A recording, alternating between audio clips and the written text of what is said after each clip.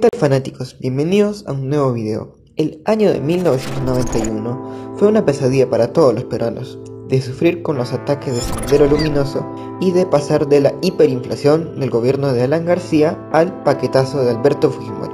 Se desató una colosal enfermedad llamada el cólera. Esta enfermedad terminó infectando a 300.000 personas y casi 3.000 perdieron la vida. Pero, ¿qué es el cólera?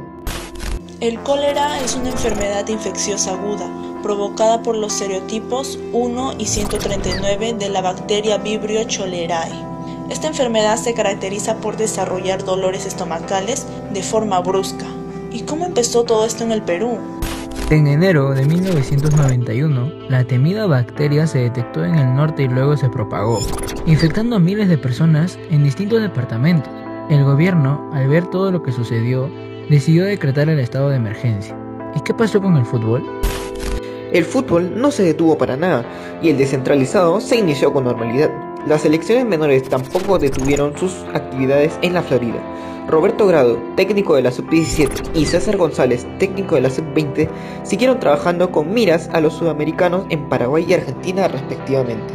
Las noticias de las crisis en el Perú fueron de gran impacto en el extranjero, por eso los clubes paraguayos Cerro Porteño y Colegiales de Paraguay, que en marzo de ese año debían visitar a Universitario de Deportes y a Sport Boys por la Copa Libertadores, no querían venir.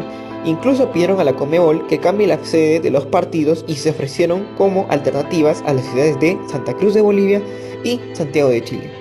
Al enterarse de esta noticia, el equipo de Universitario de Deportes reaccionó y consiguió documentos del Ministerio de Salud local y de la Organización Mundial de la Salud y de inmediato le remitió a la Comebol para argumentar que pese a la existencia de la enfermedad sí se podía jugar en Lima y tras ello la Comebol dio luz verde para que se jugasen los partidos en la capital peruana. Además un buen antecedente, ya que la Universidad Católica del Chile llegó a Lima para enfrentar a Alianza el 15 de febrero y no hubo problema. Después de todo esto, los clubes paraguayos aceptaron venir a fines de marzo, pero tomando medidas de seguridad. A la hora de la verdad, los visitantes se fueron invicto de Lima. Cerro Porteño venció a Boys y empató con la U. Mientras tanto, Colegiales igualó 2 a 2 con los Rosados y 0 a 0 con Universitario. Eso sí, las tribunas lucían totalmente vacías. Al final, los dos clubes paraguayos clasificaron invictos a la segunda ronda y Universitario pasó como mejor tercero. ¿Y qué pasó con el torneo descentralizado? Como lo hemos dicho anteriormente, el torneo descentralizado se siguió jugando con normalidad y a final del año el equipo que se alzó con el título fue el Sporting Cristal. Como ya lo vieron, fue un capítulo triste de nuestra historia, pero el pueblo peruano pudo salir a flote de este problema. Al final la situación se controló y para fin de año la enfermedad fue superada, pero eso sí, el fútbol peruano no lograba crecer y continuaba con su decadencia en todo el nivel. Hasta aquí llegó este video.